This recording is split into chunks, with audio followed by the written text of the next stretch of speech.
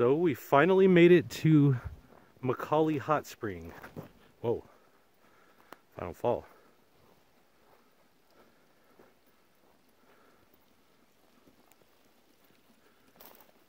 Took a bit getting over here, but check out that steam. Man, that looks like it feels pretty good actually.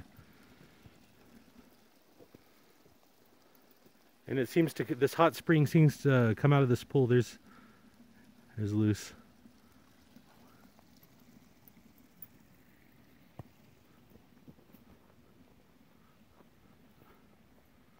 So this time we walked through a little snow. Not too bad though.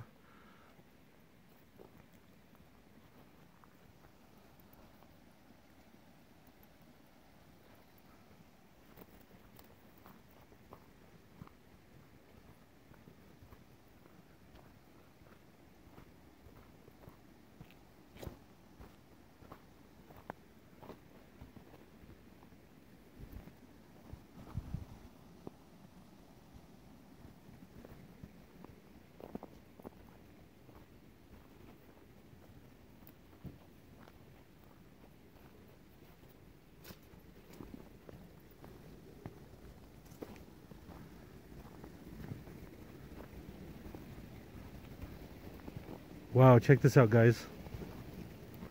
Look, this pool is actually pretty deep, too. It looks like maybe about four or five feet. I think this is the one. So, we tried to make it here last time, but it got dark and the snow was a little too deep, but I think today's the day, you guys.